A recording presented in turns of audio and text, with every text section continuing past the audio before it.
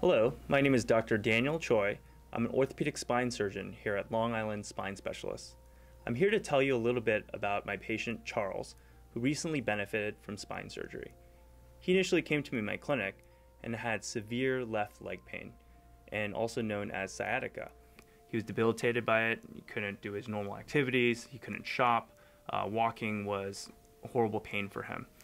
He actually is an avid traveler and had cruises scheduled to travel the world, and he was worried that this pain would get in the way of enjoying these vacations. Uh, when I met Dr. Choi, uh, he explained to me what was the matter with my back. He looked at the uh, x-rays and he said, look, I can fix this up. And I talked to him at that time and said, you know what?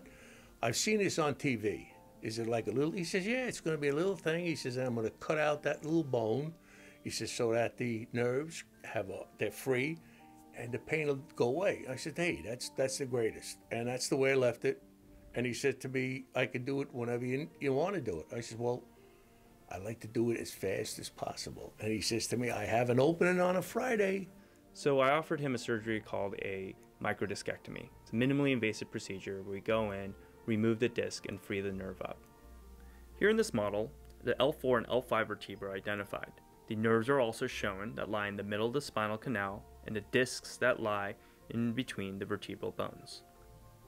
In this model here, you see that there is a disc herniation that is pushing back on a nerve root and causing the leg pains and the sciatica that our patient described.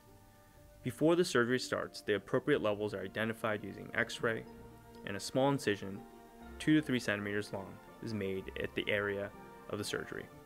Careful dissection is then carried down to the area of the bone over the disc.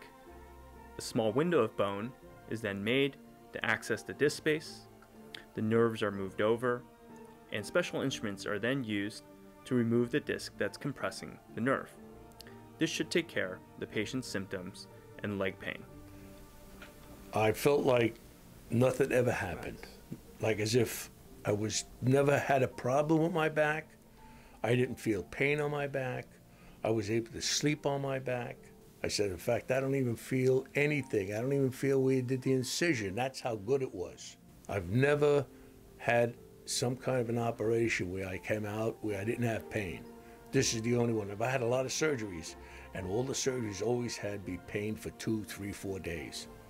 This thing, they did my spine. I walk off the table. I said, whoa. So as far as I'm concerned, I never had a, a problem after that. I felt like a million dollars, really. So that's the truth. In Charles's case, his surgery worked out very well for him and improved his quality of life, and he was able to enjoy the things he loved. Spine surgery may not be the answer to all conditions and symptoms. There are lots of non operative treatments that can help treat back pain and sciatica.